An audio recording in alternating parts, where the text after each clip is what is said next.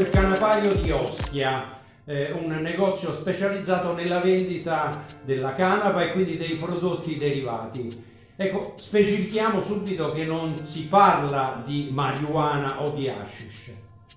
Eh, sì, la, la, canapa è un... come dire... È, è, è un, un mondo assolutamente vario. Dalla canapa si possono derivare alimenti, si fa tessile, si fa cosmetica, si fa olio, si fanno decine di, di, di prodotti che nulla c'hanno con la, con la parte ludica, con quella che viene eh, definita la marijuana, eh, anche se la famiglia è la stessa. I prodotti che noi vendiamo sono privi di THC eh, e dico sono la cioccolata con i semi di canapa oppure l'amaro fatto di canapa. Per Natale avremo i panettoni all'amaro, all'amaro di canapa oppure il musli come eh, le due cose che principalmente hanno avuto successo ma perché sono i primi prodotti che sono nati sono i semi decorticati e l'olio ricchissimi di omega 3 e di omega 6 e sono notevoli antiossidanti e integratori alimentari. Quelli provengono da questa benedetta canapa eh, sativa che nulla ha a che vedere con quella indiva che è come dire ricca di, di, di THC. E I nostri sono prodotti assolutamente bio e assolutamente eh, naturali vengono tutti prodotti in Italia, così come la, la, cosmesi. E la cosmesi che vendiamo in questo negozio è una cosmesi vegan, non testata su animali, ma eh, sen, sen, senza passare a fare questo, questo passaggio. Fra le altre cose, eh, quasi a chilometro zero, visto che eh, Verde Sativa produce a Pomezia, quindi stiamo anche nella produzione eh, quasi sotto, sotto casa. Ehm, ci sono dei prodotti che sono prodotti rilassanti perché noi abbiamo delle, delle, tisane che sono unicamente fatte con, eh, con, la canapa oppure sono aromatizzate alla melissa piuttosto che al cardamomo o ai, frutti, o ai, o ai frutti di bosco, quindi una varietà di, mh, mm,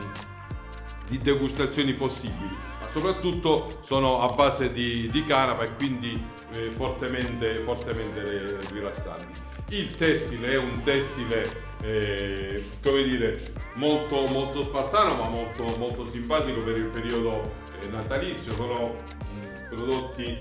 fatti in Nepal che adesso ci ha soppiantato nella, nella produzione. Noi eravamo in Italia i primi produttori al mondo, poi subito dopo la guerra per tutta una serie di, di problemi con, con, gli Stati Uniti che hanno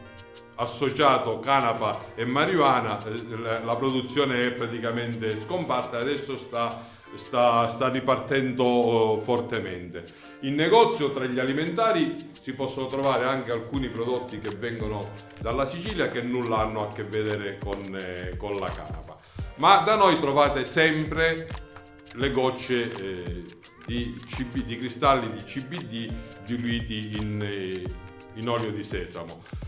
Perché parlo delle, delle, dei cristalli di CBD? Perché pur non essendo un, un, farmaco, o quantomeno non ancora considerato tale, hanno, prodotti, hanno delle capacità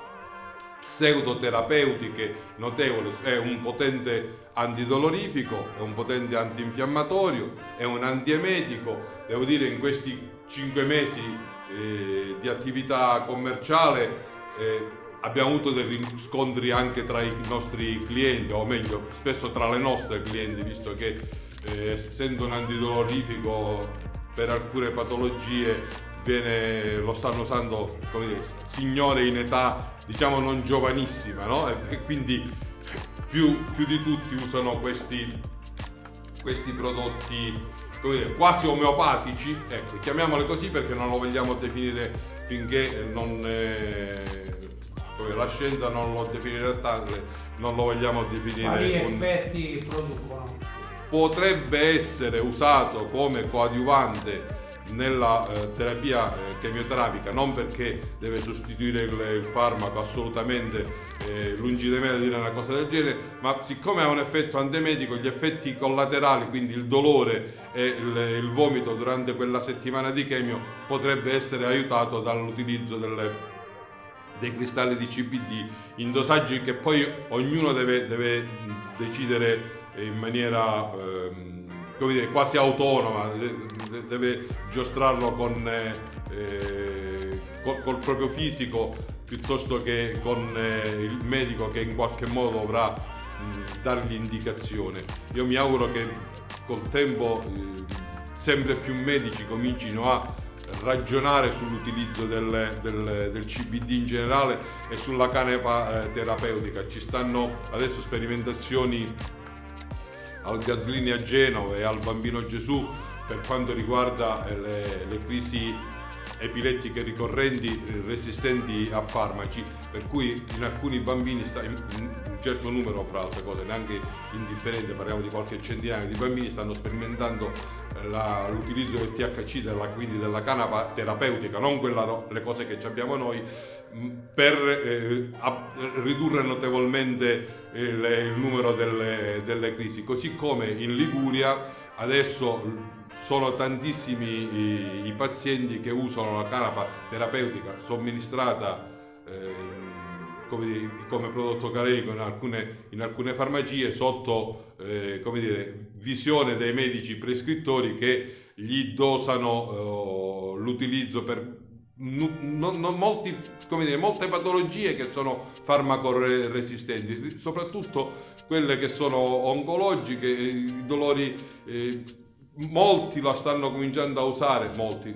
molti che ci credono, perché il molti è legato a questa cosa, nelle fibromialgie, quel dolore che è diffuso, che non ha nessun senso, ma che non ti fa vivere la giornata perché i dolori muscolari sono eh, notevoli, eh, in dosaggi eh, al 15-20% di, di, di CBD in olio permette di affrontare la giornata senza l'angoscia del, del, dolore che credo che sia ancora maggiore del dolore stesso il fatto di doverti alzare e sapere che durante il giorno c'hai dolori muscolari diffusi.